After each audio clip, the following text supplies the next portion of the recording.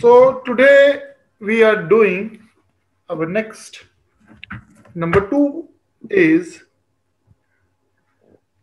fibers. Fibers. Okay. So basically these are polymers. Okay. These are polymers which have strong intermolecular forces. These are polymers which have strong intermolecular forces. Okay? Hmm. Between the chains. Okay? So these forces are either hydrogen bonds okay or dipole dipole.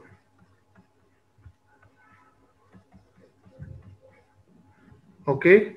Interaction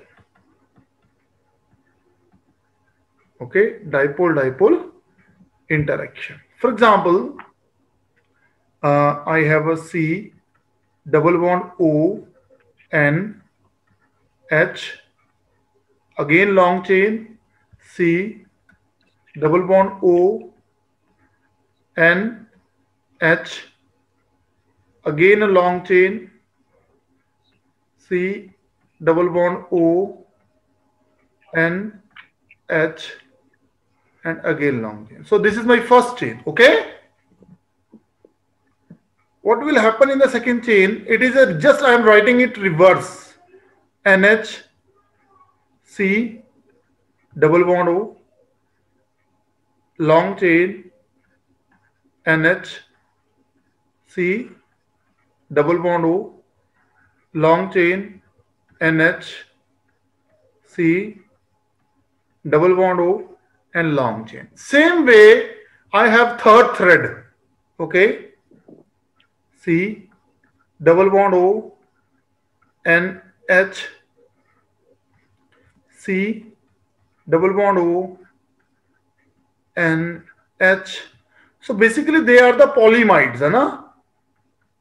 Double bond O N H R long chain इधर होगी now you can this is a hydrogen bond. This is a hydrogen bond this is a hydrogen bond. Similarly, this is the hydrogen bond. This is the hydrogen bond. And this is the hydrogen bond. Yes or no? तो ये जो hydrogen bonds हैं ये in chains को आपस में पकड़ के रखते हैं जोड़ के रखते हैं ओके पहले ये वाली फोर्सेस नहीं थी, ये एक वीक फोर्स थी। बट अब ये हाइड्रोजन बॉन्ड इन लॉन्ग चेन को आपस में बाइंड करके रखते हैं। जिसकी वजह से क्या होता है बेटा कि हमारा जो फाइबर्स है, वो बहुत ही ज़्यादा स्ट्रॉन्ग होती है। ओके वो बहुत ही ज़्यादा स्ट्रॉन्ग हो जाती है मटेरियल ठीक है? तो अगर मैं आपसे एग्ज़ाम्पल पूछूँ कि जस्ट मैंने एक एग्ज़ाम्पल दिया था तो आप मुझे एग्ज़ाम्पल नाइलॉन सिक्स की दे सकते हो? नाइलॉन सिक्स सिक्स की भी दे सकते हो। सिक्स टेन की भी दे सकते हो ओके आ, उसके अलावा सिल्क की दे सकते हो उसकी डेक्रॉन की भी दे सकते हो ओके तो जिनमें ये हाइड्रोजन बॉन्डिंग पॉसिबल है वो सारे किसमें आते हैं? फाइबर्स में आते हैं। क्लियर चलो। तो सेकंड इज़ अवर फाइबर्स तो now we move on to the third point I am going to rub it can I rub it okay the third and the most important point are thermoplastics thermo plastics. Okay? So, what are thermoplastics? Okay? Thermoplastics ऐसे material होते हैं बेटा, जिनको हम बहुत easily बहुत easily heat करने के बाद सॉफ्ट कर लेते हैं ओके उनको एक नई शेप देते हैं और जब ठंडा करते हैं तो वो नई शेप को अटेन कर लेते हैं ओके तो ऐसे मटेरियल को हम क्या बोलते हैं? थर्मोप्लास्टिक ओके थर्मोप्लास्टिक एक ब्रॉड नेम है, कोई स्पेसिफिक नाम नहीं है ओके एक ब्रॉड नेम है तो बहुत सारे पॉलीमर जो हैं, वो इस कैटेगरी में लाई करते हैं okay so basically these are the polymers okay which can be which can be easily soften okay which can be easily softened when heated when heated and and become hard become hard okay when cooled okay when cooled with the little change in their properties. With the little change in their properties. Okay? With the little change in their properties. So simple si baat hai, we can melt it again and again. Okay? And we can give them always the desired shape. ठीक है?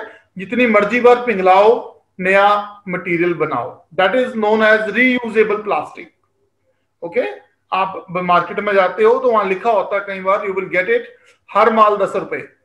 Okay तो such kind of materials are available in the market that are reusable material okay so हमने यहाँ पे एक word लिखा है with the little change in their properties okay तो आपने देखा होगा, जब नया प्लास्टिक आप खरीदते हो तो वो बहुत सॉफ्ट होता है ओके बट टाइम के साथ साथ जैसे जैसे आपका प्लास्टिक जो है, पुराना होता चला जाता है, वो हार्ड होता चला जाता है। आजकल सर्दियाँ आ गई होंगी आपके उधर तो you can have some plastic material वो इतने हार्ड हो गए होंगे राइट अगर आप उनको थोड़ा सा मोल्ड करने की कोशिश करोगे तो वो ब्रेक कर जाएँगे। ओके? एकदम से ब्रेक कर जाएँगे। इसका मटेरियल इसका मतलब क्या है? उनके अंदर वो क्या थे? वो थर्मो प्लास्टिक्स थे। वो काफ़ी बार हम यूज़ कर चुके हैं। ओके? बट जब हम उसको नया नया लेके आए थे, तब वो बहुत सॉफ्ट था। ओके? तो सॉफ्ट इसलिए था, ओके, क्योंकि उसके अंदर हम डाल देते हैं, बेटा जी प्लास्टिसाइजर्स ओके बेटा? उसके अंदर क्या डालते हैं? प्लास्टिसाइजर्स तो प्लास्टिसाइजर्स क्या होते हैं? अगर मैं नॉर्मली आपसे पूछूँ what are plasticizers so plasticizers are the substances तो plasticizers are the substances which are added to the plastic which are added to the plastic okay? Which are added to the plastic to make them soft like rubber to make them soft like rubber okay? तो उसको बोलते हैं हम लोग plasticizer so we always mix these plasticizers in thermo plastic okay so let's me give you an example okay the simple example is the PVC PVC is a hard plastic okay like like glass. Okay, like glass. Okay, hard plastic. Please note that very hard like a glass. But on the addition of uh, DOP. DOP means di butyl phthalate di butyl P H T H A L A T E phthalate और DBP okay और sorry di DOP is di isooctyl sorry dioctyl phthalate. DBP is dibutyl phthalate. Okay, so this is dioctyl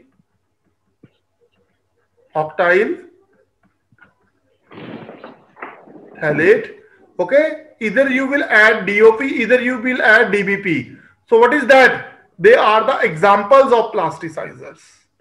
Okay, but on the addition of DOP yeah dbp okay and uh, they will make pvc soft. Okay? Can make pvc soft and can make pvc soft. Okay? Like rubber. Okay? So same way we will also feel that softness in the polythene, whatever the polythene we are using, initially when you have a polythene in your hand, it was looking like a very soft. Okay. So in, in case of uh, polyethylene, in case of polyethylene, okay, the chlorinated paraffin wax is used. In case of PVC, huh, chloro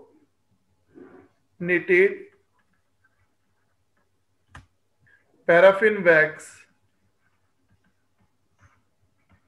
paraffin wax okay simply we can say that cpw okay is used as plasticizer is used as plasticizers is used as plasticizers. Okay? Any doubt? No, sir.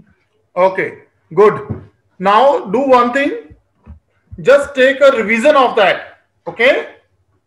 Just take five minutes and take a revision of that because now we are going to study all the polymers. Okay? All the polymers one by one. Their properties, their uses. Okay? So we will study them one by one. You just have a look on that. Okay, beta? Okay, go ahead. So polythenes basically, uh, you know, in which the monomer units are joined together and they form polymer. They are the long threads. Okay. So basically they are of two types. One is low density polythene and the other is a high density polythene. We have already studied these examples in our previous classes. Okay. So now we have to study first about the low density polythene, how it is prepared. Okay. Then we will study about high density polythene. Okay. So basically the monomer unit remains same. The monomer unit remains same that is ethene. Okay. But uh, if we heat the ethene at uh, 475 Kelvin temperature and 500 atmospheric pressure and then traces of oxygen. Okay. So it will open up to N. It will open up to N and we will call it as a low density polythene. Okay. Low density polyethylene. Okay, beta? So basically, it is a transparent polymer, having a moderate tensile strength. Okay, but high toughness. We know that, right? So it is chemically inert. You can use it a number of, uh, you know, you, sometimes you carry for food, sometimes uh, you will wound it up on the wires. Okay, it is a good insulator and poor conductor of electricity. So basically, how we, where we can use them, plastic. We know that we will use it for packing materials and uh, basically the insulator for electric wires and cables. Okay, so in that situations it is used. Okay.